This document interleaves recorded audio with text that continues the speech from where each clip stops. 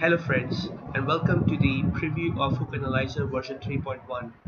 In this video I will take you through to the threat intelligence module of the tool. The screen which you are looking at right now is the dashboard of the threat intelligence module. As you would see the home page basically talks about the different projects or initiatives I've been working on along with an option to contact me directly. Now there are two menus within the threat intelligence module. The first one is the global threat landscape.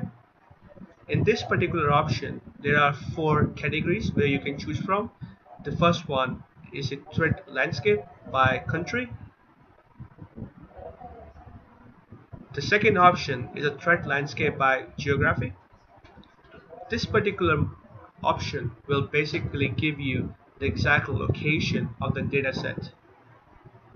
The third option is a vulnerability feeds.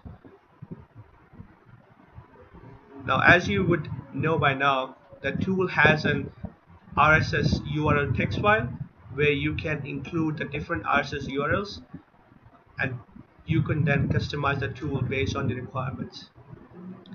The fourth option is the malware intelligence.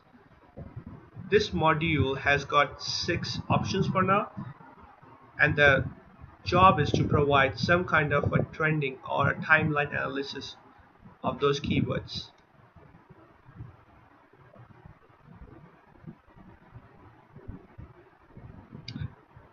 The next main option is the keyword based cyber intelligence. This is something which I did blog for almost a month back. In this particular menu, you would have two options. The first one is the keyword based malware intelligence in this particular option you can specify the different keywords for which you want to search malware for. So for example in this particular uh, run I gave three keywords like Trojan, ransom and word. So the tool will try to find the malwares related to these keywords and provide you a timeline or a behavior the next option is the keyword based cyber intelligence which would allow you to exactly find out where those keyword keywords information is geographically located.